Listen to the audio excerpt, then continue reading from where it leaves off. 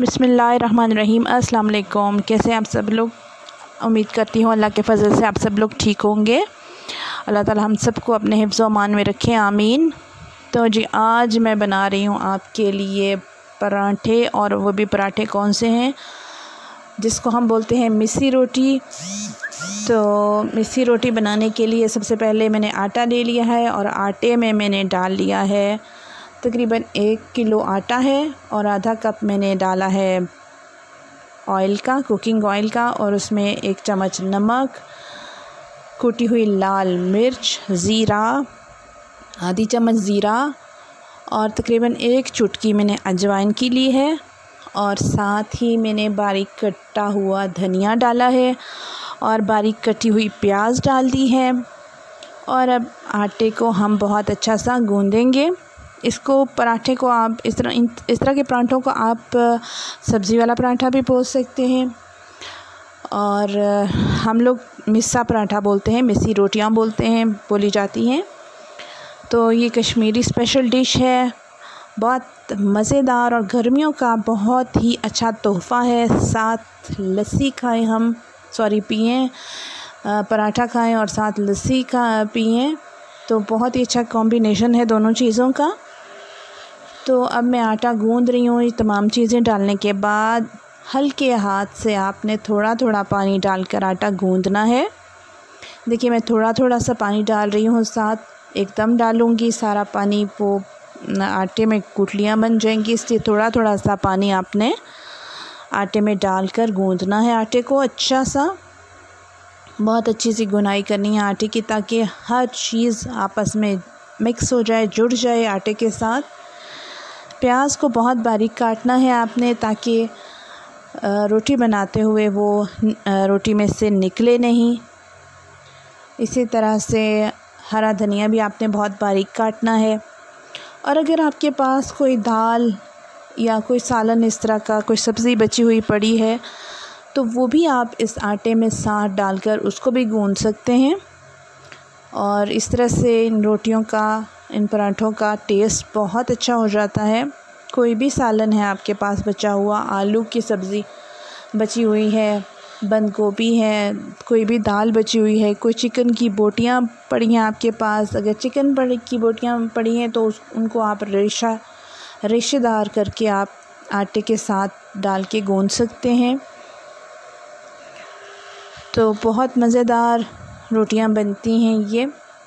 Tasty होती हैं, चटनी के साथ खाएँ, लस्सी के साथ खाएँ खाली भी खाएँ, चाय के साथ खा लें नाश्ते में।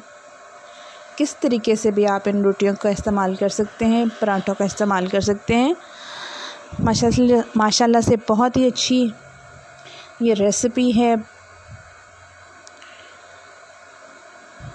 तो देखिए, मैं किस तरह से हाथों के साथ आटे को गूंद रही हूँ, बहुत अच्छा सा मिक्स कर रही हूँ। आपने भी ऐसा ही मिक्स करना है। थोड़ी देर मिक्स करने के बाद ऐसे आपने पाँच से सात मिनट के लिए आटे को रहने देना है। और उसके बाद आपने फिर से दोबारा से इसकी गुनाई करनी है। गूंदना है अच्छा सा ताकि ये हर चीज़ जो है आटे में अच्छी तरह से मिक्स हो जाए, चिपक जाए आटे में अच्छी तरह से प्याज वगैरह और धनिया आपने जो डाला है, वो अच्छा सा जो है वो आटे में जुड़ जाए। देखिए बहुत अच्छा सा आटा गूंदा जा रहा है। माशाल्लाह से अल्हम्दुलिल्लाह, ये देखिए, आटा बहुत नरम है और बहुत मज़े से गूंदने हो रहा है।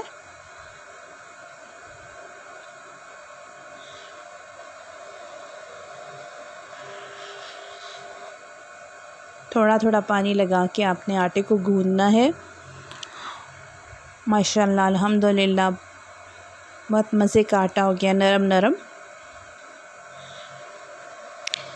इंपॉर्टेंट चीज़ आटे की गुनाई है। आटा अच्छा गूंदा हुआ होगा और तो, तो तभी अच्छे पराठे हमारे बन सकेंगे।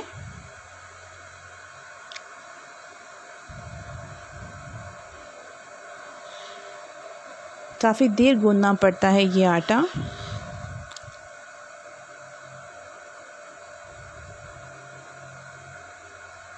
देखिए अभी भी सही तरीके से आटा जुड़ा नहीं है और क्रैक्स हैं अभी भी।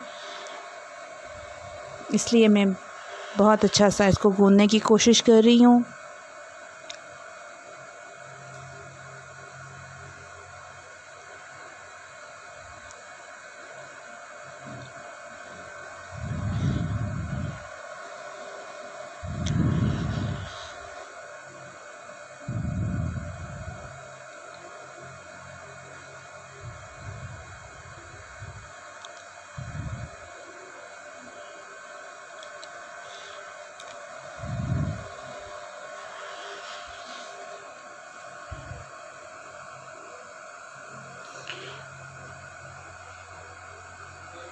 माशाल्लाह से आटा अभी प्रोसेस में है। अभी थोड़ी देर के लिए मैं कवर देकर रख दूँगी, कपड़ा देकर रख दूँगी ढाँप के ताकि दोबारा से आटा सेट हो जाए।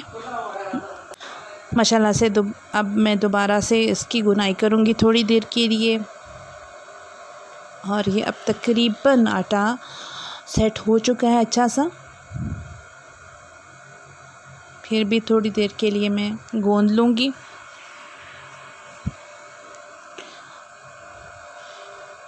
चक्की का आटा हो, देसी आटा हो तो तब ज़्यादा टाइम के लिए लगता है उसको गूँधने में। इस, मेरा चक्की का आटा है, इसलिए काफ़ी टाइम लग रहा है उसको सेट होने में।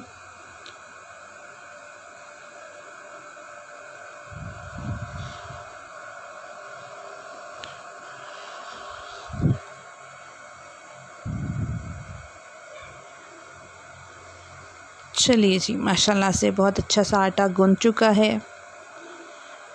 अब तकरीबन 10-15 मिनट के लिए मैं रख दूँगी और इसके बाद मैं पराठे बनाना शुरू करूँगी। माशाल्लाह, अल्हम्दुलिल्लाह, माशाल्लाह से बहुत प्यारा लग रहा है आटा। ग्रीन ग्रीन नज़र आ रहा है हरा धनिया।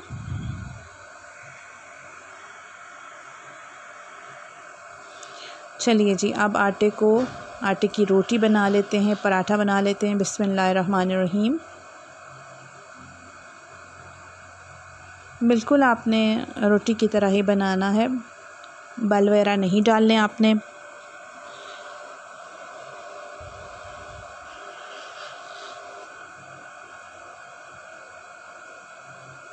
बिसमीम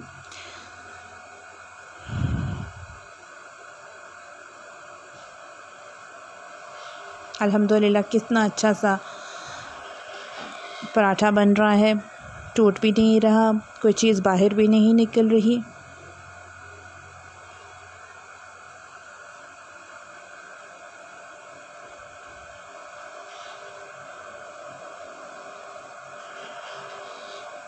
चलिए जी बिस्मिल्लाह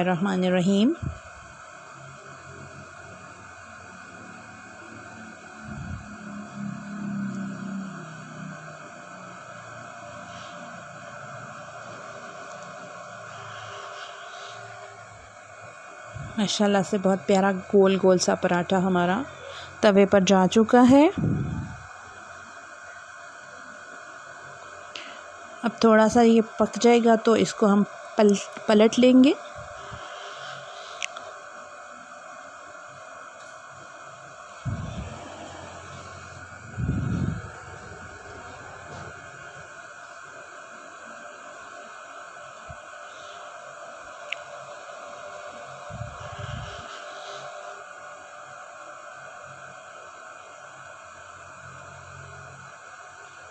चलिए जी अब पलट रही हूँ मैं।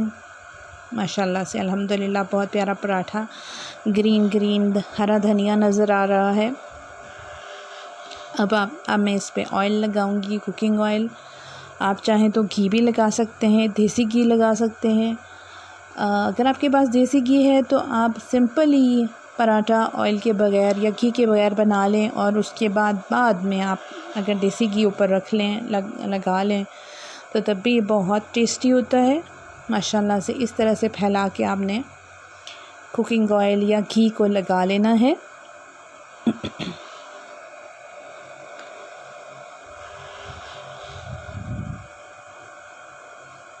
एक साइड से जब आपको लगे कि हो चुका है तो आपने पलट लेना है।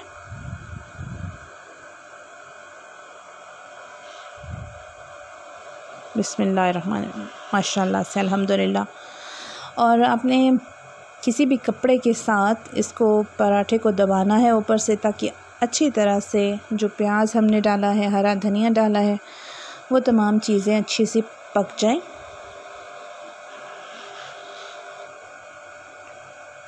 माशाल्लाह, अल्हम्दुलिल्लाह, ये देखिए, माशाल्लाह, अल्हम्दुलिल्लाह, बहुत खूबसूरत, बहुत ही प्यारा पराठा बना है, माशाल्लाह। और टेस्ट में भी बहुत लाजवाब होता है, ये बहुत ही लाजवाब होता है। ज़रूर ट्राई कीजिएगा, घर में कुछ भी ना हो जब आपको समझ ना आ रही हो कि आज हमने क्या पकाना है। तो ये बेस्ट रेसिपी है कि आप पराठे बनाकर आराम से खा सकते हैं।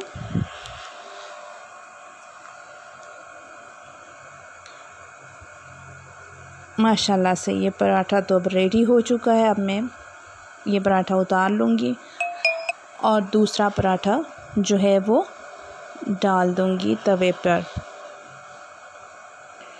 माशाल्लाह, अल्हम्दुलिल्लाह। चलिए जी, बिस्मिल्लाहिर्रहमानिर्रहीम। अल्हम्दुलिल्लाह, बहुत प्यारा पराठा है, ये भी गोल गोल माशाल्लाह।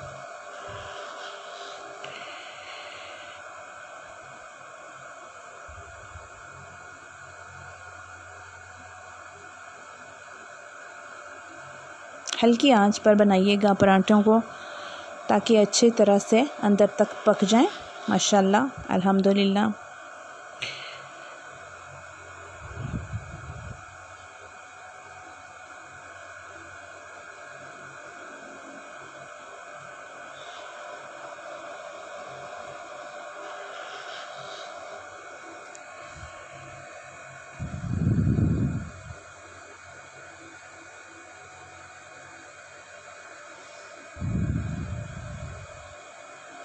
यकीनन आज की रेसिपी, आज के पराठे आपको पसंद आए होंगे। ज़रूर ट्राई कीजिएगा। ज़रूर बनाइएगा और मुझे कमेंट्स में बताइएगा कि आपके पराठे कैसे बने। माशाल्लाह से देखिए, बहुत खूबसूरत पराठा। ये भी रेडी हो चुका है। मेरा चैनल ज़रूर सब्सक्राइब कीजिएगा और बेल आइकन भी प्रेस कीजिएगा। माशाल्लाह, अल्हम्दुलिल्लाह। मुझे दुआओं में याद रखिएगा। खुश